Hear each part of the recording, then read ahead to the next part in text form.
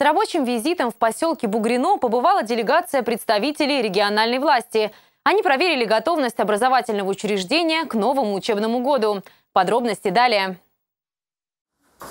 Представители власти осмотрели школу-сад, которая размещается вот уже несколько лет в одном здании. Помещения маленькие, мест для всех желающих посещать детский сад не хватает.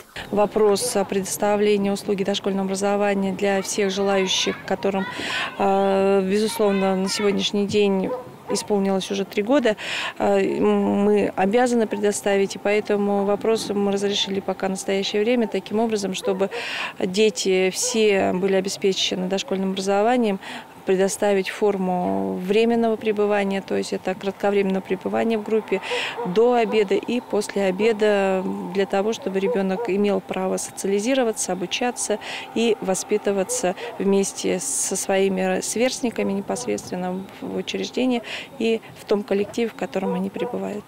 Инспектирующие оценили качество проведенного косметического ремонта и созданный уют в помещениях, предназначенных для групп детского сада. Также осмотрели старое здание образовательного учреждения, которое признано аварийным объектом. Ну, естественно, тут надо будет строить школу-сад.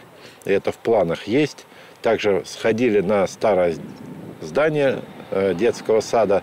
Все-таки считаем, что учитывая, что строительство это достаточно долгий процесс, в любом случае возможно еще это здание отремонтировать. И вот хотим отправить специалистов где-то для того, чтобы в проект э, бюджета на 2020 год включить данный объект и капитально отремонтировать э, старый детский сад. Не хватает мест и в кабинетах начальной школы. В данный момент одновременно могут обучаться только три класса, поэтому некоторым учащимся приходится заниматься во вторую смену. Проработкой данного вопроса представители профильного ведомства займутся уже в окружной столице. Екатерина Дементьева, Леонид Шишелов, телеканал «Север».